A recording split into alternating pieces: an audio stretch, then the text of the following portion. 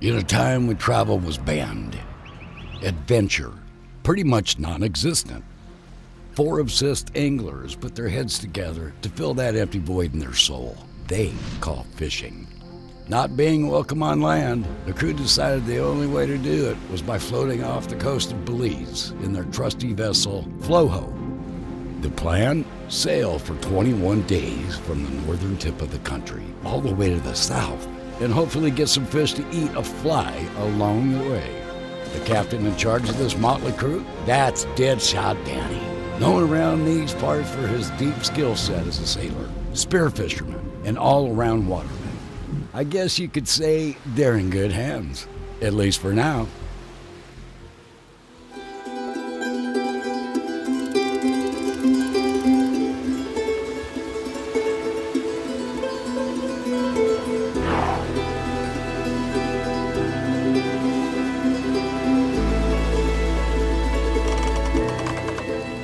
I've been sailing ever since I was young, man. When I was very small, we used to live right in San Pedro there, like across the street, and we'd be in the ocean, six o'clock in the morning. We'd make like little boats out of styrofoam and stuff and tie a string on them and pull them along the beach.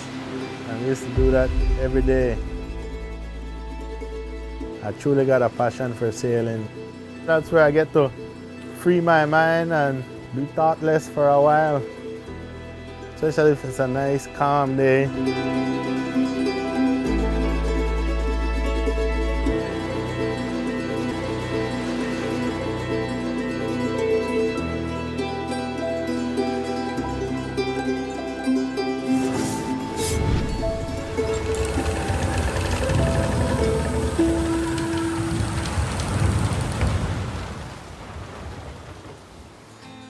Belize offers something that nowhere else really does in a sense where you can sail around an entire country and just fish different setups and different flats and different fish. It's my home base now and the fishing is incredible. You can go to every little atoll, every little sandbar, every little rim flat, and you're gonna see fish. No matter the weather, whether it's blowing or raining, there's always something you can fish for here. Everything from reefs coming into flats to turtle grass to channels on the inside. It's one of the epicenters for permit. They all congregate in these areas. These atolls are perfect for them. They have tons of food for them, shrimp, crabs, everywhere you walk. The thing about Belize is I think that there's so many people that fish here and they're all hitting the same areas in the same water where there's endless, endless, endless habitat to be fishing. And a lot of it doesn't get fished. The idea for us was to have this boat and have kind of unlimited access to all the zones that we wanted to get to. We weren't dependent on a lodge or a guide. Basically, we could go out there, do our own digging, and see what we found. It's unique because not a lot of people do it. There's not a lot of people out at Turneffe Atoll or Glover's Atoll who are walking six, seven, eight, ten miles a day. There's not a lot of literature, there's not a lot of video about it. Like it is kind of this exciting new place that uh, you don't know a lot about to make this work, the first thing we needed to do was find a captain. We're all kind of apprehensive talking about the captain and not knowing what his program was going to be. And just from the get-go, Dan shows up and he's the man. Yeah, you ready to do this or what? Let's go, man. Let's Get, go now. It's going to get a little weird. Let's go, let's go. Ready, let's, ride. let's ride. Let's ride.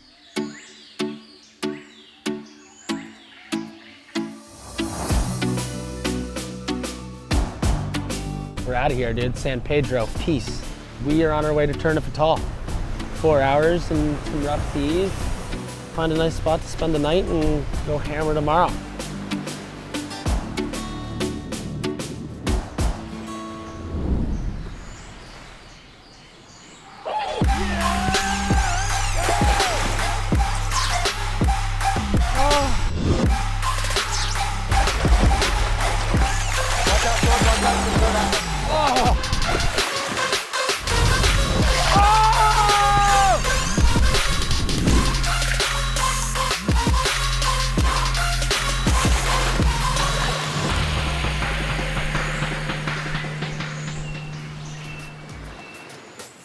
The program every day on the boat would basically be, you know, wake up, kind of game plan with our captain, Dan, gear up, offload canoes and boat paddleboards, get everyone going out on the flats and checking all these zones that we wanted to check. We're winging it, looking on maps every night and just kind of going with gut feelings and looking at water flows and tides and things like that. And hopefully, when we show up to the spots that we think are good, there's fish there.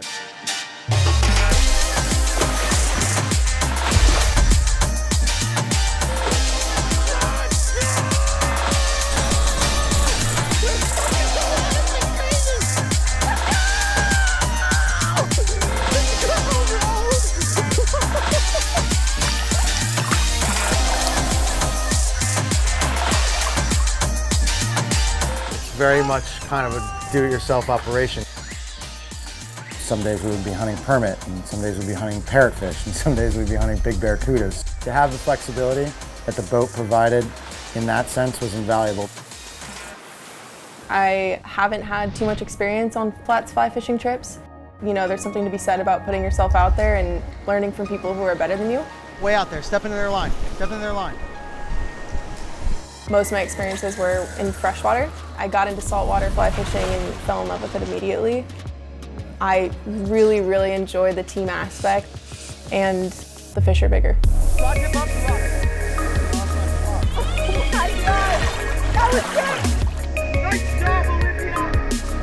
Oh, right there, right there.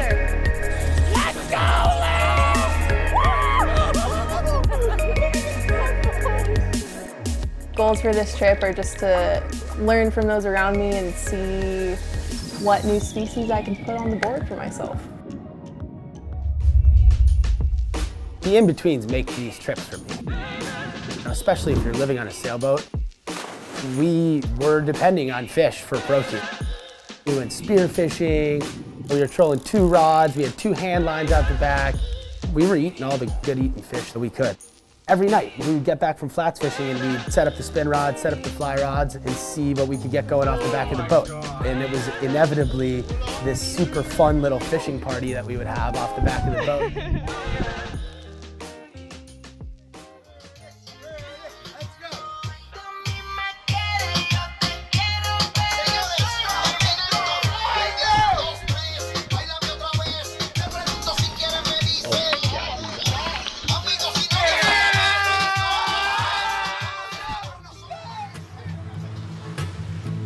This is the most fly fishing I've done.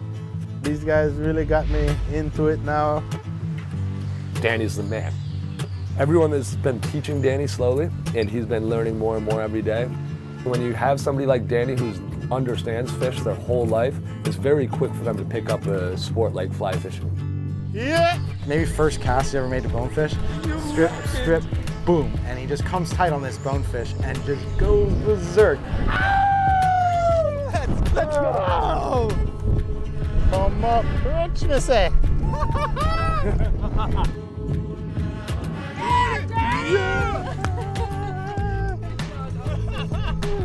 And we got them. Wicked awesome.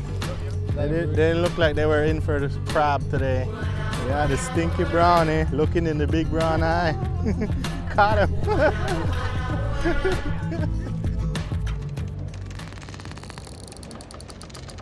Stock channel inside the pass leads to the anchorage north of the resort. Extreme caution should be exercised in the approach of the eastern side.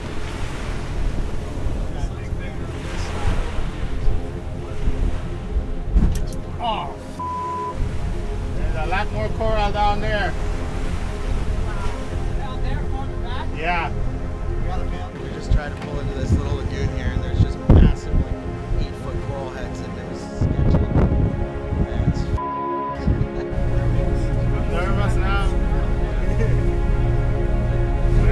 road could have been worse. A lot worse. A slight kiss on the rudder. It's about as good as we could have hoped for. The shit show continues. One of my concerns as a guide and like a fisherman is like, how do you plan on going out here and catching permit with like 18 feet walking over crushed coral? Like, that ain't gonna go.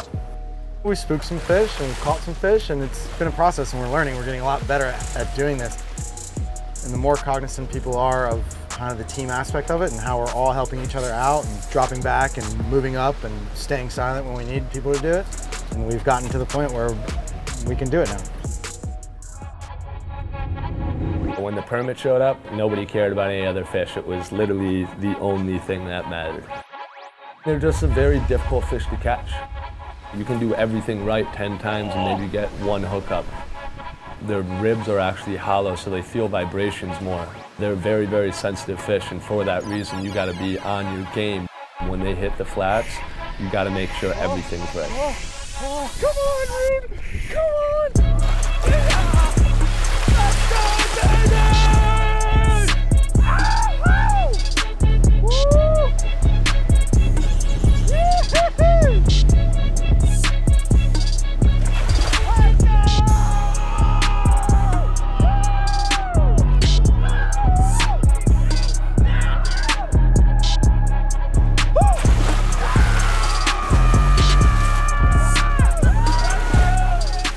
When you're doing a do-it-yourself trip like this, and we're finally able to grab one of those permit tails, it's a moment that can't be beat, not in fishing. I really hope this is a perm.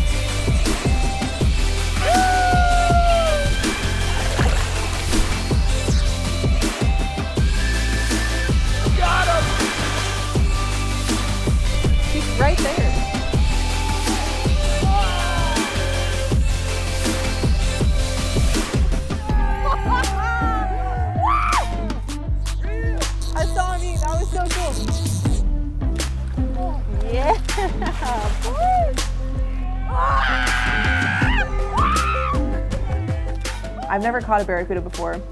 It was really cool to target a new species like this and especially a fish like that. I've always been a girl to hang with the boys. It's been interesting living on a sailboat with them in such a confined space. At this point, I'm not even sure if I'm a girl anymore.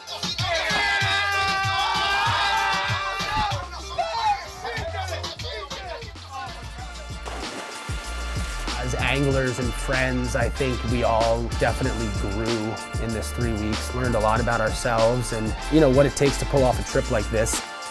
It takes a lot of communication, it takes a lot of miscommunication, it takes trial and error, and it takes being okay with, we're gonna figure it out as we go along.